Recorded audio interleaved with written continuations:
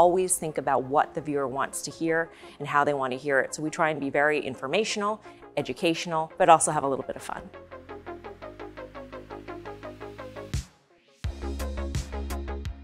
It's unbelievable. uh, the technology that's incorporated in the set is really cutting edge. It's exciting because that's what the NASDAQ's about, and that's what Fast Money tries to be about too.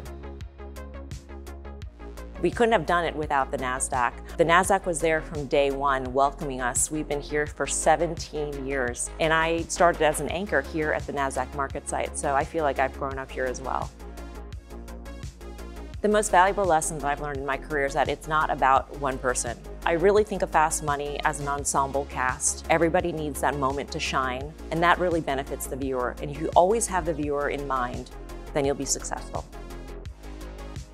I think we're constantly questioning everything around us because you need to, you need to understand what's going around you today in order to make those wise choices for the future.